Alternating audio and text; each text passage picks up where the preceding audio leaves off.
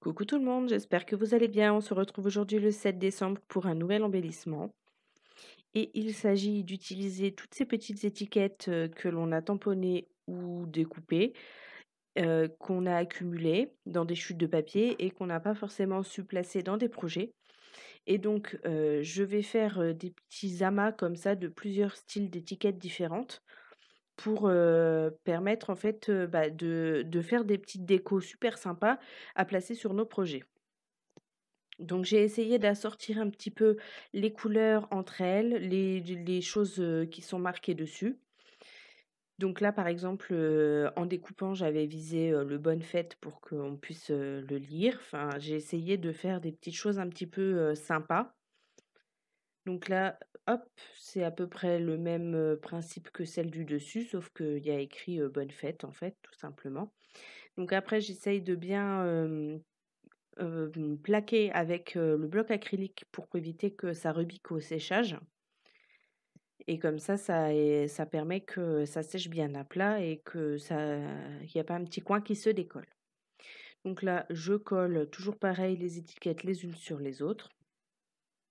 Donc il n'y a rien de compliqué du tout dans l'exercice. Hein. Donc là, voilà, j'ai mis une petite étiquette rouge. On est parti sur le thème de Noël cette fois. Et là, vraiment, on peut laisser libre cours à sa créativité. Hein. Vraiment, euh, on peut y aller à, 200%. Donc là, j'ai pris un petit mot euh, que j'ai coupé avec un die. Donc, joyeux, en doré, donc on fait attention de ne pas mettre trop de colle et surtout on fait attention de ne pas la faire déborder et aussi là comme c'est du papier glacé, enfin de la cartonnette glacée, quand on appuie on fait attention de ne pas trop décaler le texte parce que du coup bah, comme la colle est pas sèche en fait ça se déplace un petit peu. Donc là je colle le Noël forcément, joyeux ça va aussi avec Noël. Ça peut aller avec d'autres choses mais là en l'occurrence c'est Noël.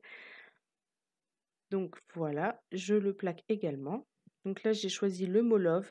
C'est un mot que j'ai découpé avec la silhouette il y a fort, fort longtemps, que j'avais coloré avec un feutre, je ne sais pas lequel.